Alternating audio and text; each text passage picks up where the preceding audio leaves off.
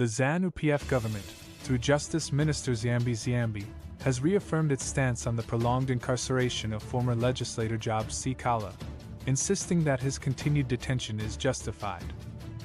Minister Ziyambi made this declaration during an interview at the commencement of the 2024 legal year in Harare.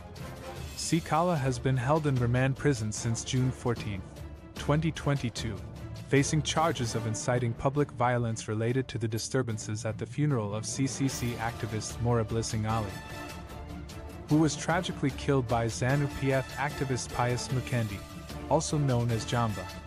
Mukandi was recently sentenced to 30 years in prison for the crime.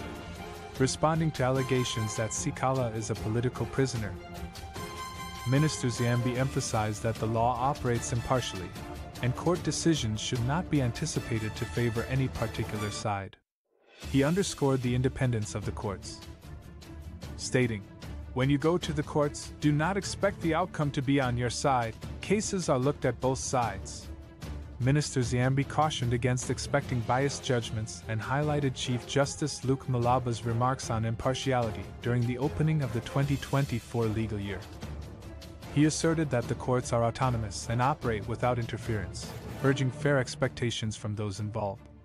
CCC spokesperson Promise Mkwananzi accused the government of exhibiting double standards, alleging that Sikhala is a victim of political imprisonment. Human rights activists, both locally and internationally, continue to call for Sikhala's release, asserting that justice is being denied. The CCC further accused the judiciary of being influenced by the ZANU PF led government.